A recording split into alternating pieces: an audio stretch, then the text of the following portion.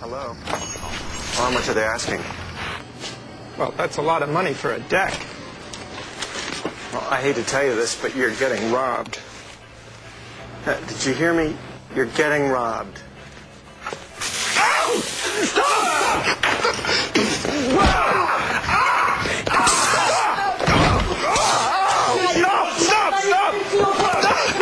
AmeriQuest, an open-minded, equal opportunity lender.